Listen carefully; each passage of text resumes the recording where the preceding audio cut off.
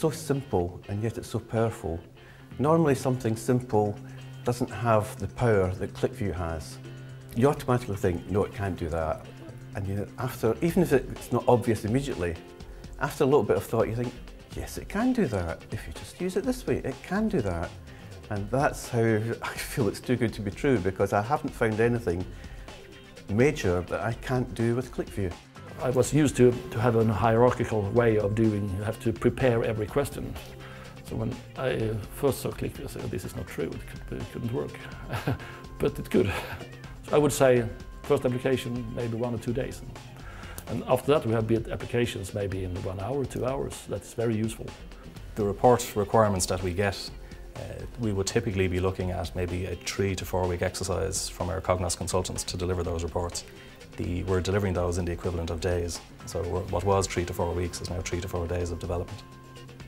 We are uh, replacing uh, some 480 different reports with QlikView, with 12 QlikView apps. The sheer number of reduction, because there's so much more ability in each of these applications, the, the, sheer reducing of that and the fact that I can produce these applications in much, much vastly less time. I, I think I, um, I think we've gone from uh, uh, months and months to days or weeks maybe.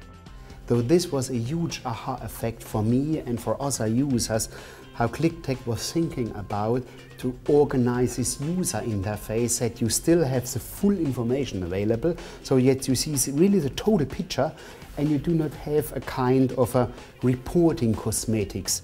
Uh, our business areas never had the technical resources to truly dedicate themselves to a, an operational area, business area.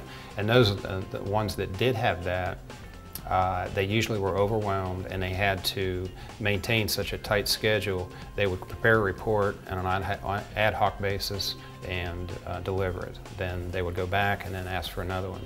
QlikView changed all that because now we don't have to have the users totally dependent on certain people to do that. They can do it themselves like managers are up and running, they're looking at data, they, they don't have to have a background in supply chain or have a background in, in, in, in finance to understand how to use this product about their, their core activity, um, which is, you know, it's great, great.